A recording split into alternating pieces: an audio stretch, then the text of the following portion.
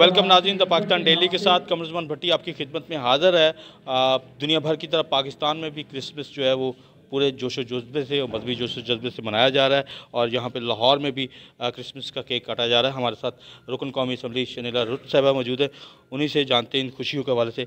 बहुत शुक्रिया वक्त देने का। ये क्रिसमस की खुशियों का आज इतना भरपूर केक काटा जा रहा है। क्या कहेंगी और क्या पैगाम देंगी? जी, सबसे पहले तो मैं तमाम सुनने वालों को व्यूअर्स को क्रिसमस की खुशियाँ मुबारक कहना चाहूँगी। ये क्रिसमस का महीना है और क्रिसमस की आमद आमद है और क्रिसमस का पैगाम, मोहब्बत सुलह सलामती भाईचारा, रवादारी मोहब्बतों को बांटना यही क्रिसमस का पैगाम है। और खुदावंद यसु मसीह का इस दुनिया में आने का मकसद भी यही था कि वो खुदा का और इंसान का मिलाप कराए। और हम जो इंसान हैं, आपस में एक दूसरा के साथ सुलह और शांति के साथ रहें। यही पैगाम है जो आज मैं आप सबको, पाकिस्तानियों को पाकिस्तान में मुकीम मसीहों को और पाकिस्तान से बाहर मसीहों को और तमाम पाकिस्तानियों को क्योंकि क्रिसमस सिर्फ़ मसीहों के लिए नहीं ये पूरी दुनिया के इंसानों के लिए मन, मनाया जाता है।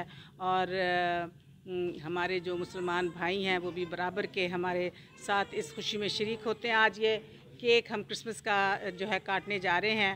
खुदा यसु मसीह की पैदाइश के मौका पर और ये हमारा जो नॉर्थ लाहौर है, नॉर्थ लाहौर के प्रवेश सोनी साहब हमारे सदर हैं, जो जिनकी ज़ेर साया ये आज का प्रोग्राम जो है वो तरतीब दिया गया है।